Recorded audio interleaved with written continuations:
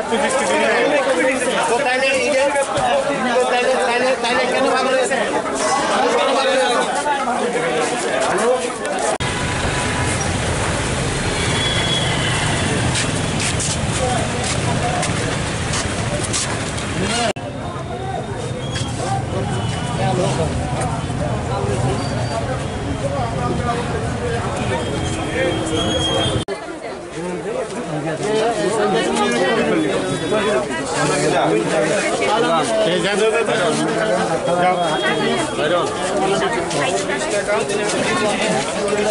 এখানে গ্যাদারিং করতে না করতে সাড়ে নশো সাড়ে নশো বিক্রি করতেছে। হ্যাঁ? আমি দেখি আপনি কত করে কিনছেন আমি? আমি এসেছি। আচ্ছা করতেছে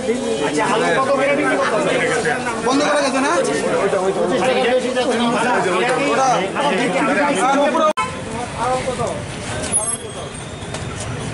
এগারোশো?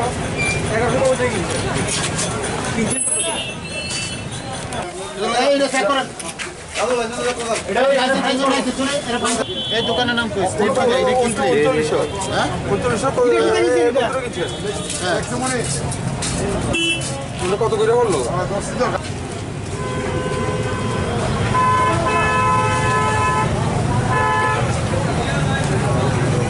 হ্যাঁ, এই পচাটি আপনার আপনি তো রোগ সৃষ্টি হবে আপনার গায়ে। এটা কিছু আছে? ফালানি নেই আমার ঘরে ঢুকে দিয়েছেন কেন? ফালান রাস্তাতে।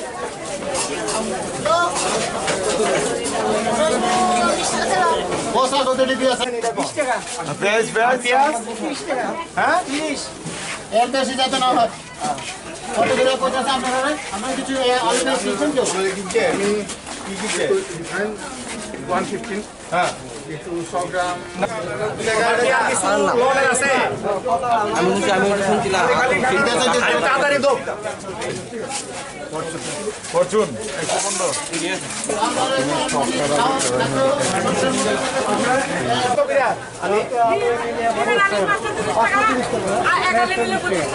একালি পঁচিশ টাকা? না না একালি তিনি এক পঁচিশ টাকা কোথায় আছে? না না এটা দাম বেশি। দাম বেশি আমি কিন্তু ফোন করেছি না হ্যাঁ নিয়ে যাব আমার তো নাই মই মূল্যের দামে হয়েছে আরও দুইজন না না দাম কমে গেছে আমার স্যার যখন ফোন করছে বিশ টাকা বছর ফিস আমরা আনি ইচ্ছা দিয়ে আমরা একশো পঁচিশ টাকা এমআরপি থেকে তো কমে বিক্রি রেট আনা হয় হ্যাঁ তো একশো বিশ টাকা বছর যে যেটা রিজনেবল তো আমি না করতেছি না রিজনেবল আমরা কত করে বিক্রি করতেন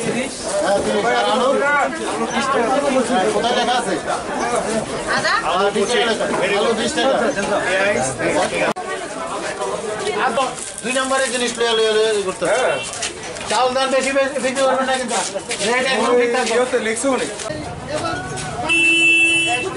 অনেক দোকান বন্ধ। তিরিশটা পঞ্চাশ টাকার বেশি হতো না। বেচতে বিক্রি করেন নাহলে দোকান। নাহলে বিক্রি করেন লাগতো না এটা লক করতেই বই দোকান। দোকান মাল দোকান ভিতরে। হ্যাঁ দোকান। ব্যবসা করেন লাগবে না। পাইছিলাম ভাই বইছে। দেখেন আপনি দেখেন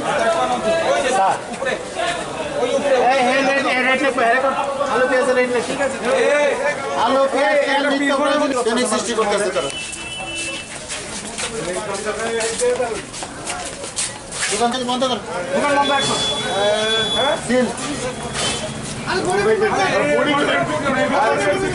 এই বন্ধ করেন বডি বডি বন্ধ করেন দোকান দোকান দোকান।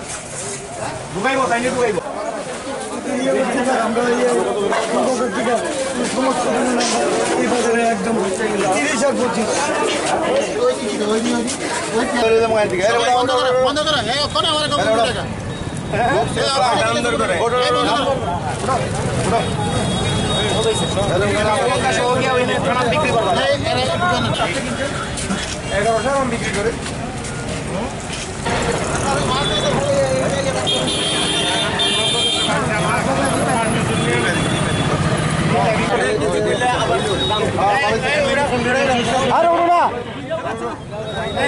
তারা থামে তো।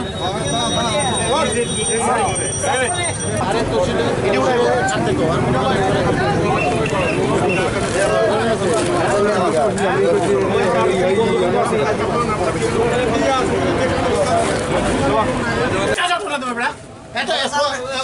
কয়টা কিনো দরকার আছে? হ্যাঁ? করতেছে।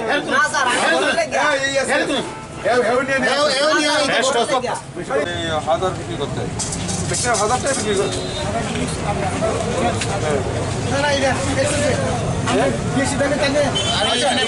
আমরা এই মূলত দুর্গা চমুনি এবং লেক চমুনি আমরা ভিজিট করছি তো এই দুর্গা চমুনিতেও আমরা অনেক দেখলাম যে আমরা এখন পর্যন্ত পাঁচজনকে অসৎ উপায়ের জন্য মানে অ্যাক্সেসিভ রেট নেওয়ার জন্য আমরা কাস্টডিতে পুলিশ কাস্টডিতে নিয়ে নিয়েছি এবং দোকান লক লক করে দেওয়া হয়েছে।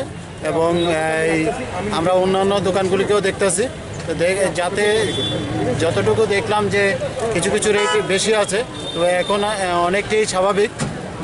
মানে আলু পঁচিশ টাকা এবং পেঁয়াজ পঁচিশ থেকে তিরিশ টাকায় বিক্রি করতেছে। ডিম?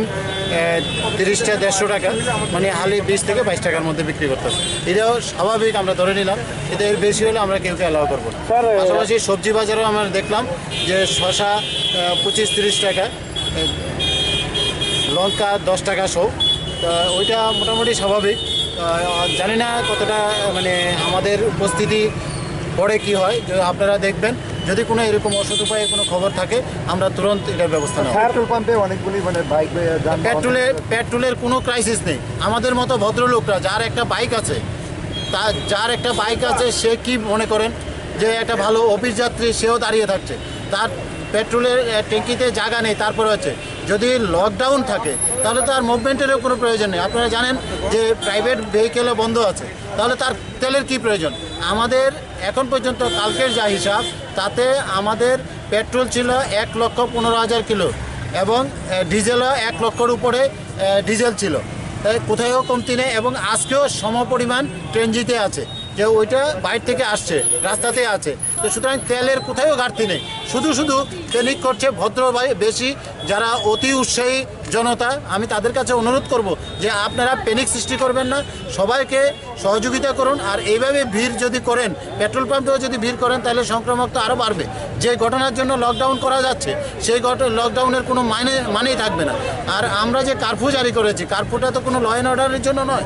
শুধু করোনা ভাইরাস যাতে সংক্রমিত না হয়, এটার একমাত্র ওষুধ আমরা যাতে মানে সোশ্যাল ডিস্টেন্স মেনটেন করি। আপনারা দেখেছেন মোবাইলে যদি আমরা ফোন করি, বারবার বলে যে এক মিটার দূর থেকে কথা বলুন। সবাই যাতে সংস্পর্শে পরিষ্কারভাবে থাকুন, হাত ধুন। যদি সবাই যদি একত্রিত হয়ে যায়, তাহলে তো আর এই ঘটনাটা থাকবে না। এই মরণ বেদি বিশ্ব মহামারী দেখা দিয়েছে। সেখানে যদি আমাদের এই ক্ষুদ্র ত্রিপুরায় কোনো একটা ঘটনা ঘটে, তাহলে আমাদের ইনফ্রাস্ট্রাকচার বলুন প্লেন বন্ধ ট্রেন বন্ধ, সবাই বন্ধ, আর এই রুগীকে কেউই সংস্পর্শে আসবে না।